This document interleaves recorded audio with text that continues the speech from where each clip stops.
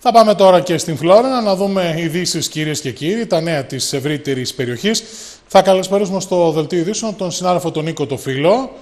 Καλησπέρα, Δημήτρη. Καλησπέρα, Νίκο. Να δούμε θέματα που αφορούν την περιοχή. Είχαμε σύσκεψη του Αγροτικού Συλλόγου Αμυντέου με φορείς.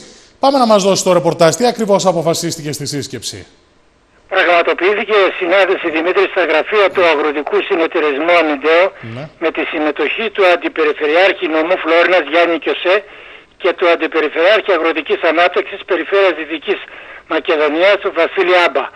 Από πλευράς συλλόγου ήταν η κριτικού διαμάντο ο Κοσμίδης ο Γιώργος, Ναι.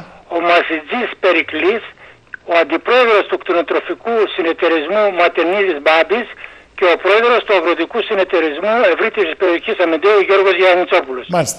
Ο λόγος της συνάντησης τους ήταν η άδικη απόφαση των αρμοδίων οργάνων του ΕΛΓΑ Δυτικής Μακεδονίας σχετικά με τις αποζημιώσεις των αγροτών της περιοχής από τον παγετό που παρουσιάστηκε φέτος την Άνοιξη και στη δυσμηνή θέση που βρίσκονται όπως δήλωσαν. Μάλιστα. Ζητήθηκαν και τα κτηνοτροφικά προβλήματα, τα χρέη τους προς τη ΔΕΗ για να τα ρυθμίσουν και για τις παραλίμνες εκτάσεις. Μάλιστα. Οι αντιπεριφερειάρχες οι δύο που παραβρέθηκαν δήλωσαν ότι είναι μαζί τους και θα στηρίξουν τα προβλήματά τους δυναμικά σε περιφέρεια και σε κεντρικά, δηλαδή στα Υπουργεία που εμπλέκονται για την υπόθεση αυτή. Μάλιστα. Είναι πολλά τα θέματα που αφορούν τον Αγροτικό Συλλόγο Αμυντέου. Το βλέπουμε καθημερινά. Τώρα πάμε στην εφορία αρχαιοτήτων Φλόρινας. Εκεί έχουμε θέσεις εργασίας για την εφορία αρχαιοτήτων της Φλόρινας. Υποβάλλονται αιτήσεις για εννέα προσλήψεις που προχωράει η εφορία αρχαιοτήτων Φλόρινας Ναι. για εκτέλεση αρχαιολογικών εργασιών, αποκατάσταση και συντήρηση τυχογραφιών Ιερού Ναού Αγίου Νικολάου Βέβης, Περιφερειακής Ενότητας Φλόρινας. Οι θέσεις Δημητρή είναι μία θέση ΠΕ αρχαιολόγων με εμπειρία σε έργα αποκατάστασης και ανάδειξης μνημείων της Βυζαντινής και μεταβυζαντινής περίοδου, οκτώ θέσεις ΙΕ, δηλαδή υποχρεωτικής εκπαίδευσης, εξειδικευμένοι εργάτες σε αναστηλωτικές εργασίες. Οι αιτήσεις και τα δικαιολογητικά των ενδιαφερομένων θα υποβάλλονται από τους ίδιους ηλεκτρονικά για όσο διάστημα εφαρμόζονται τα μέτρα κατά του COVID-19 ή ταχυδρομικά μέχρι 25 Μαΐου 2020. Για περισσότερες και αναλυτικές πληροφορίες να επικοινωνήσουν οι ενδιαφερόμενοι με τη γραμματεία του Αρχαιολογικού Μουσείου Φλόρινας. Ωραία. Άρα όσοι ενδιαφέρονται να επικοινωνήσουν και να προλάβουν να καταθέσουν τις αιτήσεις. Τώρα είχαμε συνάντηση τελεχών του ΚΚΕ Δυτικής Μακεδονίας με εργαζόμενους στη Φλόρινα. Τι υπόθηκε στη συνάντηση; Ε, Αντιπροσωπεία της κεντρικής οργάνωσης Δυτικής Μακεδονίας του ΚΚΕ αποτελούμενη, όπω προείπε, τον γραμματέα Δυτικής Μακεδονίας και περιφερειακό σύμβουλο της Λαϊκής Εισπήρωσης Θανάση Χαστά, τη γραμματέα της τοπικής Επιτροπής Φλόρινα του ΚΚΕ Δέσποινα Γρηγοριάδη και τον περιφερειακό σύμβουλο της Λαϊκής Εισπήρωσης Βασίλη Καρατζίδη, πραγματοποίησε συνάντηση με τον πρόεδρο του Συλλόγου Υπαλλήλων της Περιφερειακής Ενότητας Φλόρινας Άγγελο Περιβολάρη, καθώς και τον αντιπρόσωπο του Συλλόγου Εργαζομένων Δήμων Φλόρινας Αμυντέου στην ΠΟΕ, ΟΤΑ, Σάββακου Γιουντζόγλου.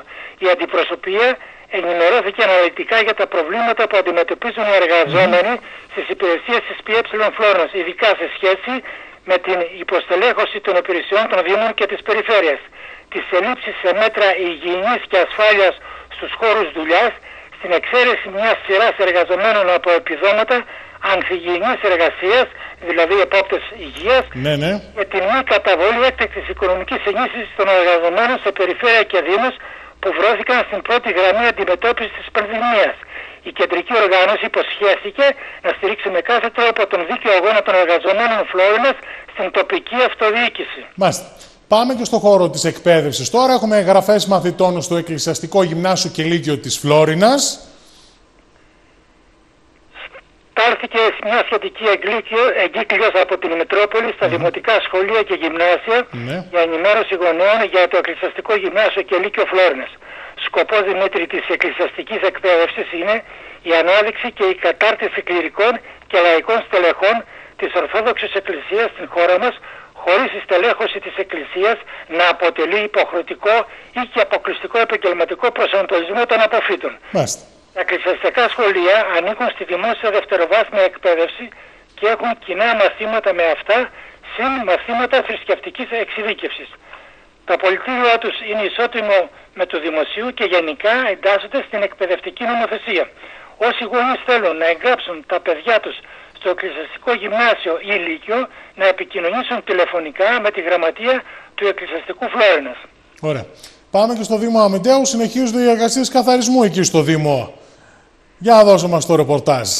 Πράγματι, Δημήτρη, είχαμε εργασίες καθαρισμού και συνεχίζονται βέβαια και αποκατάστασης των δημοτικών κτηρίων και συγκεκριμένα του καταστήματος του Πνευματικού Κέντρου Αμυντέου, καθώς και παρεμβάσεις με μηχανήματα έργου για τον καθαρισμό της παραλίμνια ζώνης στην τοπική κοινότητα Αγίου Παντελεήμονα, πραγματοποίησε ο Δήμος Αμυντέου, όπως προείπες. Ο Δήμαρχος Άρτημα Μπιτάκης ανέφερε ότι κύριο μέλημά μας και φυσικά της Δημοτικής Αρχής είναι να διατηρηθούν λειτουργικά και καθαρά όλα τα δημοτικά κτίρια και κάθε τουριστική περιοχή και να αποτελούν σημεία έλξης για τους δημότες και τους επισκέπτες του Δήμου Αμυντιαίου. Οι εργασίες θα γίνονται σε όλα τα τοπικά διαμερίσματα, όπως προείπαμε του Δήμου, ανάλογα με τις ανάγκες που Μάλιστα. συνέχεια καταγράφονται και αξιολογούνται. Ωραία. Να μείνουμε στην ευρύτερη περιοχή του Δήμου Αμυντέου. Άνοιξε το καταφύγιο Αρκτούρος στον Ινθαίο και πλέον θα μπορούν να πάνε οι επισκέπτες. Να ξεναγηθούν. Ακριβώς. Το καταφύγιο του Αρκτούρου στον Ιφαίο δεν είναι μόνο γνωστό στη Δυτική Μακεδονία, αλλά σε όλη τη χώρα. Ανοίγει λοιπόν και πάλι το, για το κοινό το καταφύγιο της Καφέ Αρκούδας στον Ιφαίο Φλόρινας. Το καταφύγιο του Λύκου θα είναι ανοιχτό κάθε Σαββατοκύριακο μόνο από τις 23 Μαΐου 2020. Ο Αρκτούρος επισημαίνει ότι εναρμονιζόμενοι με τις οδηγίες των ειδικών, οι ξεναγήσεις θα γίνονται με περιορισμένο αριθμό ατόμων ενώ και οι ξεναγήμες θα λαμβάνουν όλα τα απαραίτητα μέτρα προφύλαξης. Ωραία. Και να κλείσουμε και με το αστυνομικό ρεπορτάζ από την περιοχή της Φλόρινας, γιατί έχουμε συλλήψεις, ε, Νίκο. Ακριβώς, Δημήτρη. Για κατοχή ναρκωτικών ουσιών συνελήφθη 30χρονο στη Φλόρινα από αστυνομικούς της ειδικής ομάδας του τμήματος συνοριακής φύλαξης κάτω κλινών Φλόρινας. Έγινε αξιοποίηση στοιχείων και έπειτα από έρευνα που έγινε στο σπίτι του βρέθηκε και κατασχέθηκε ποσότητα ακατέργασης κάναβης. Ο συλληφθής οδηγήθηκε στον εισαγγελέα πρωτοδικών Φλόρενας.